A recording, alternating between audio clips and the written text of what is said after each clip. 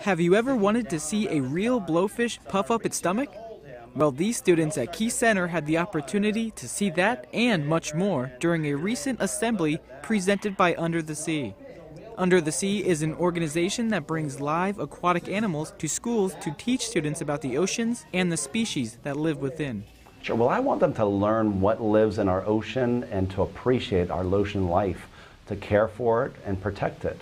At the very end of our presentations, we always have some environmental message, and today's message was about solid waste pollution, about litter, that plastic bags, when they enter the, the water stream, can resemble jellyfish, and therefore things that eat jellyfish, that consume them, such as sea turtles, will sometimes try to eat the plastic bag and get injured or sometimes die from that.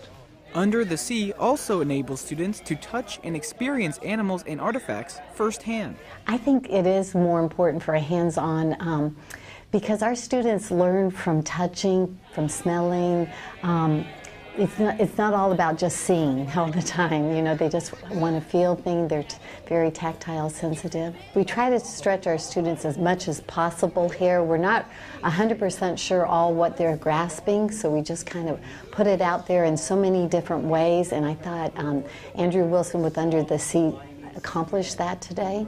The content featured in Under the Sea aligns with the Virginia SOLs, and teachers at Key Center have prepared students to see the connection between the curriculum and the presentation.